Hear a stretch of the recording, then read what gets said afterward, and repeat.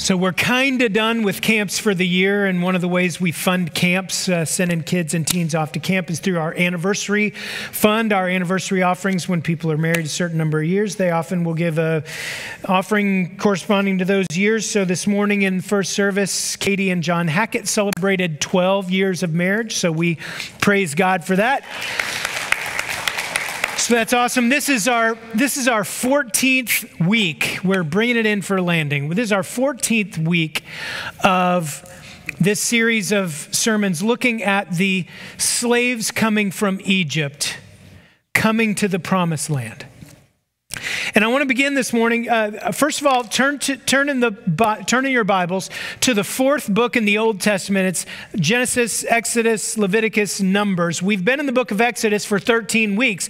Now we've just skipped a big chunk of, of Scripture.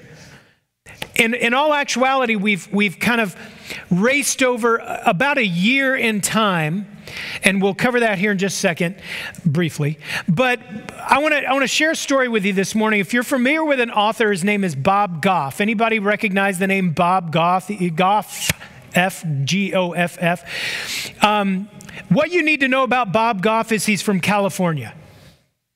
That's it. Okay. So things that make sense to Bob Goff and in Bob Goff's world may or may not make sense to you here in Tennessee. California, it's his own group of people. And so Bob Goff in the, uh, in the late 70s, he was a college student in San Diego, and as many Californians did in the late 70s, they just decided to take some time off and hitchhike, because that's what you do, I guess. And he was a student down at San Diego State and he wanted to go see San Francisco. And so he just decided to take some time off and go to San Francisco and hitchhike. And he says this in his book, Love Does. I'd highly recommend anything that Bob Goff writes. And he says this in Love Does. He says, There's an unwritten rule when you hitchhike that, that he learned pretty quickly through experience. When a car pulls over to give you a ride, instead of telling the person where you need to go, Ask them where they're going. There's a big difference. Because when you say, hey, where are you going? It gives you a second or two to check them out and see if you want to get in the car with them. If you say, hey, where are you going? And they say, well, actually, there's this great body odor convention in Oakland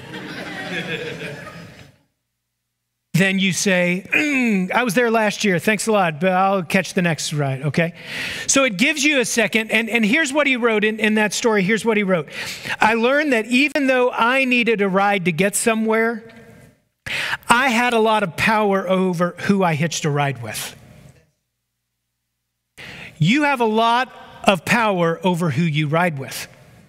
You have a lot of power over you hitch your wagon with. You have a lot of power over who you surround yourself with. The voices you listen to and the story we are going to look at today speaks into that very strongly. And so let me remind you God came to a man named Abraham in the book of Genesis and said, Abraham, I'm going to build my nation, my people through you. And he made a covenant with Abraham.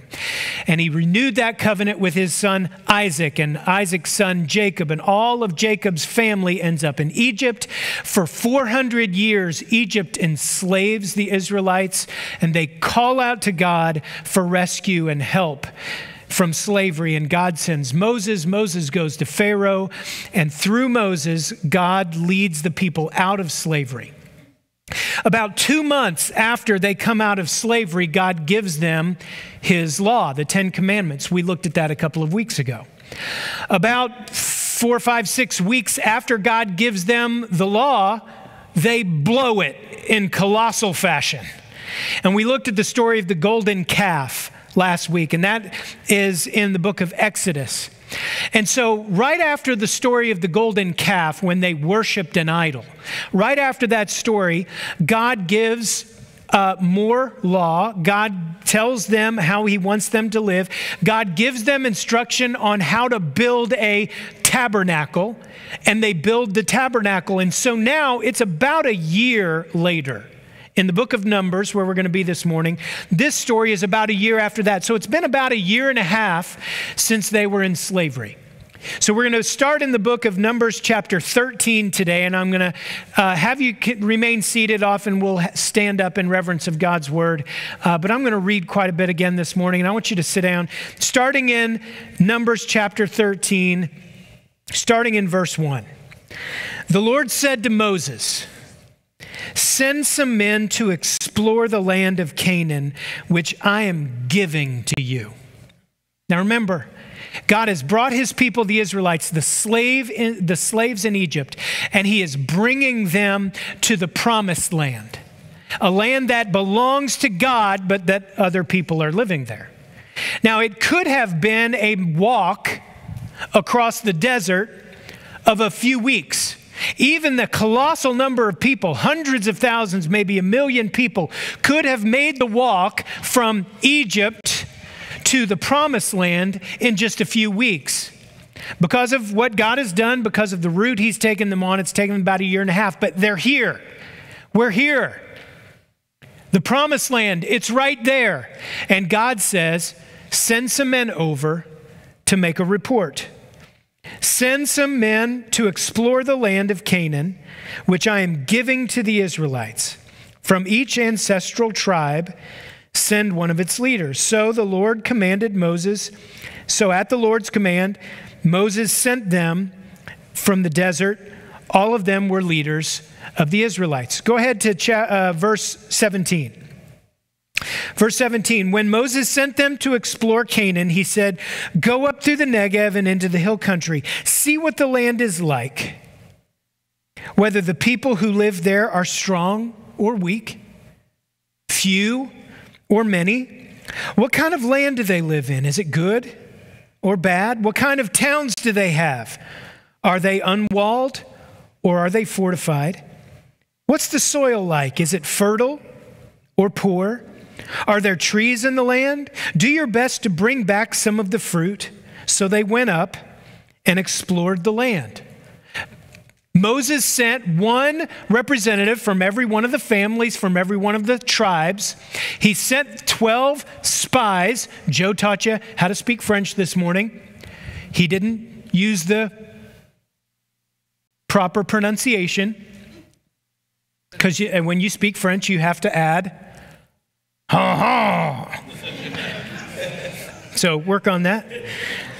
Okay, so he spent he Moses sends 12 spies into the promised land to scout it out, to see what it's like, and then to bring them back to get a report. Verse 25, at the end of 40 days, they returned from exploring the land. Verse 26, they came back to Moses and Aaron and the whole Israelite community.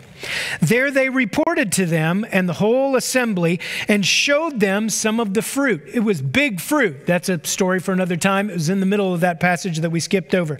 They gave Moses this account This is what the land is like. We went into the land which you sent us, and it does flow with milk and honey. Remember God promising us a, a, homeland? When we were slaves in Egypt, He said, I'm going to give you a land. It's going to be a good land. I'm going to give it to you. It's a land flowing with milk and honey. It's going to be everything you need. And the spies come back and said, It does flow with milk and honey. It's a fertile land. But the people who live there, they're powerful. And the cities are large strong.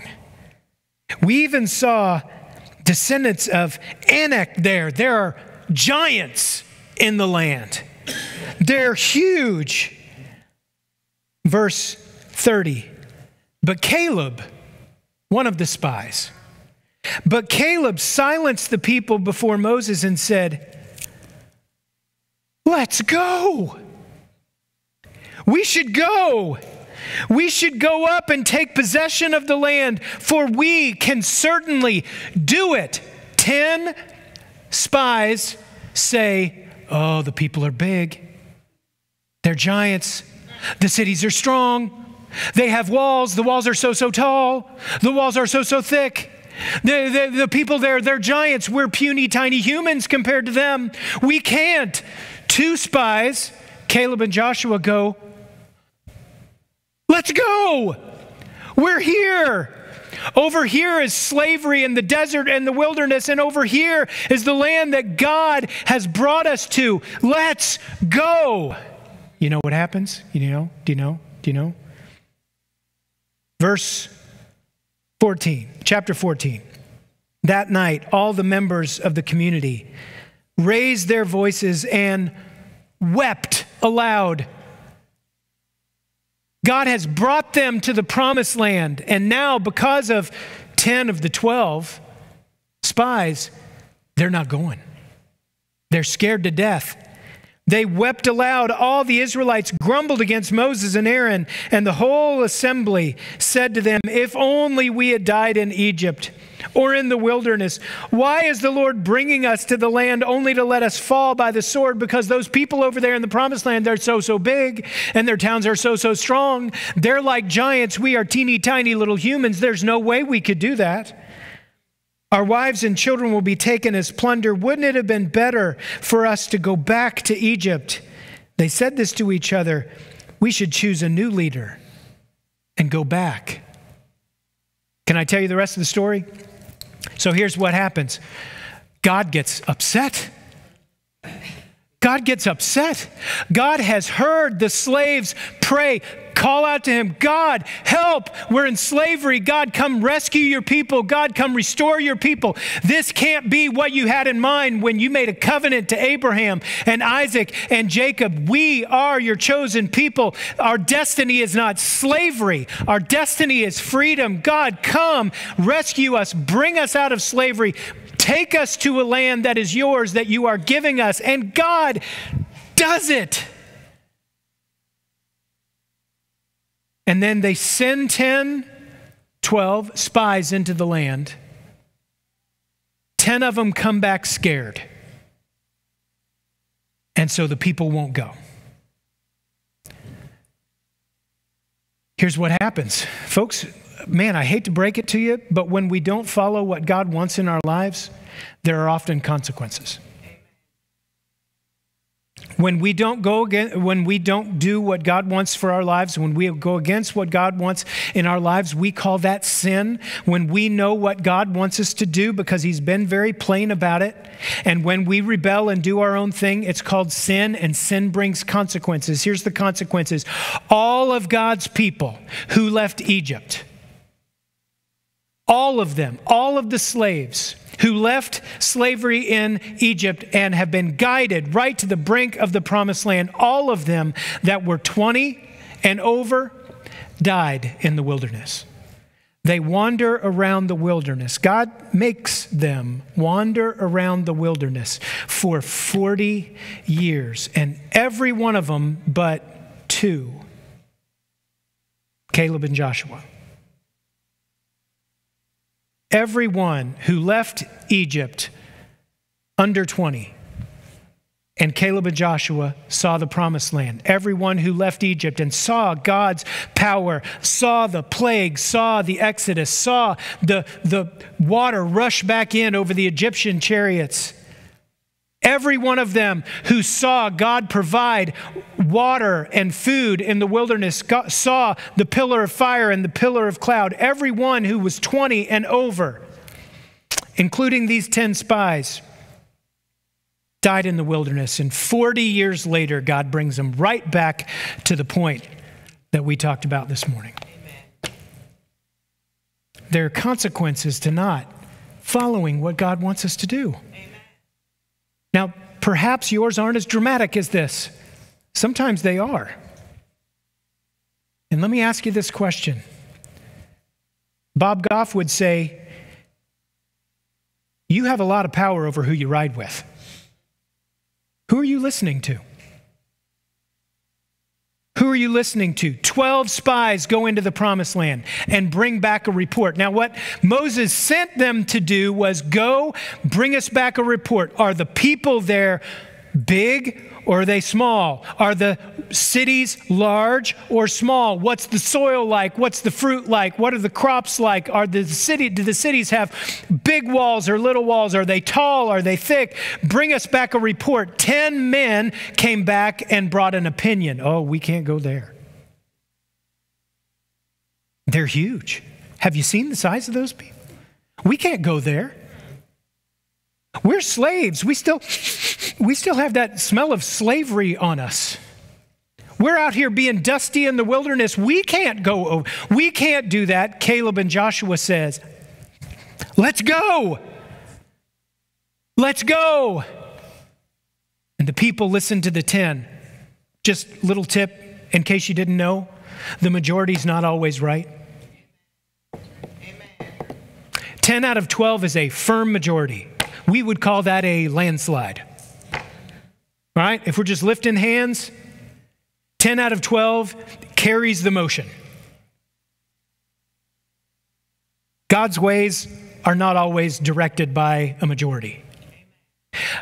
God's ways are not always shouted loudly. The, the Bible uses again and again a picture of how God whispers. God is in the quiet. This morning, we were listening to a, a pastor preach, and he said, That's because God is close. He is near. He doesn't have to shout, Amen. we just have to listen. Don't listen to the majority when the majority sows seeds of doubt and fear. Don't listen to the loudest voice just because it's loud. 10 spies come back and say we can't. Caleb and Joshua says, "Let's go." And the people turned and spent 40 years in a death march around the wilderness. Let me share this story with you. Years ago, Pacific Northwest, they, uh, they had a program where they were offering a reward of $500 for every wolf killed or captured. And so, of course, that turned a bunch of people into bounty hunters. And so, two hunters, Sam and Jed, Two hunters decided to head for the hills and make a bunch of money hunting wolves. Day after day after day, day and night, they scoured the mountains and forests searching for their valuable prey. Exhausted after days of hunting with no success, they hadn't seen a wolf. They fall into a deep sleep in front of their campfire. During the night, Jed wakes up to the sound of growling. And he sticks his finger in the flap of the tent and opens it just enough to look out.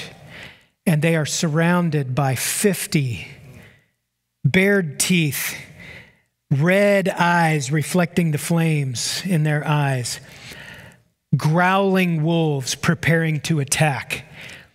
Jed nudges Sam awake and says, Sam, we're dead. Sam looks out and says, we're rich.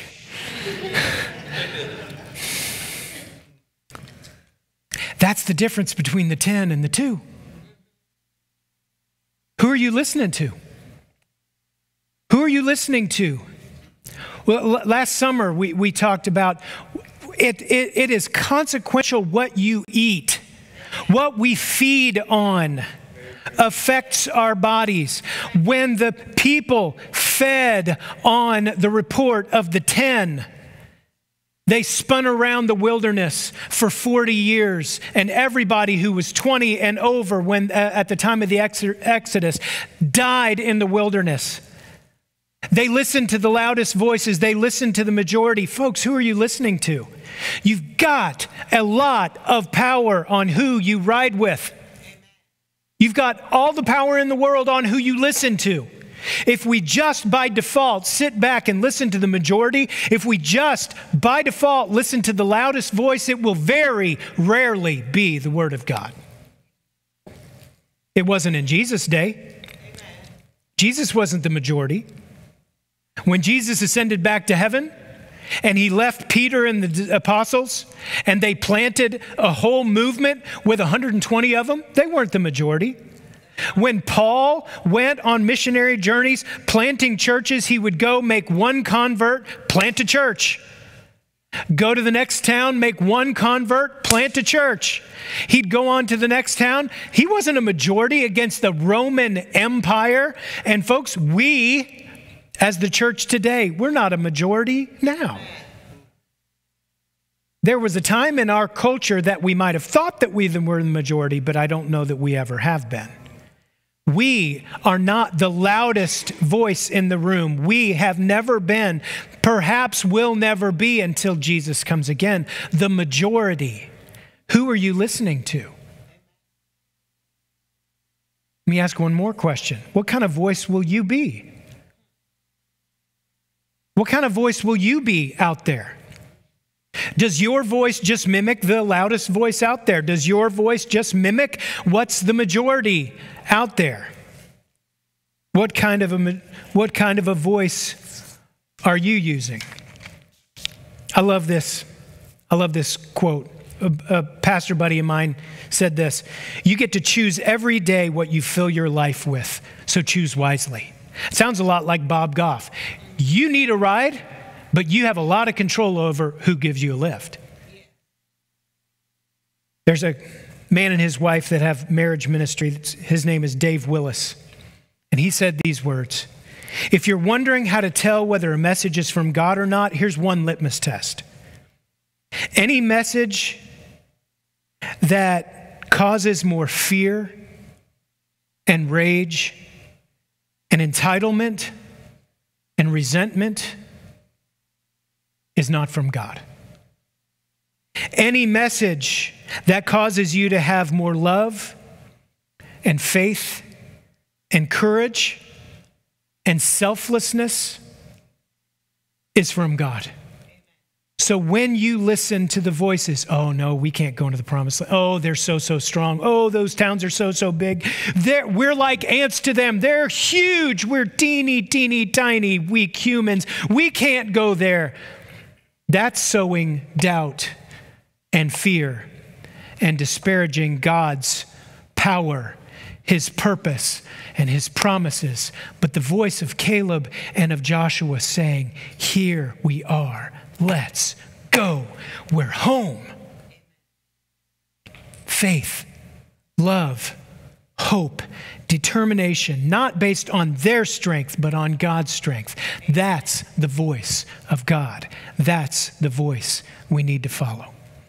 Would you stand up with me? Amen. You get to choose who you ride with. You get to choose the voices you hear. There's a world out there in our culture that screams. Just because it screams doesn't make it right and it certainly doesn't make it God's voice. Just because there's more of them than more of you doesn't make it right.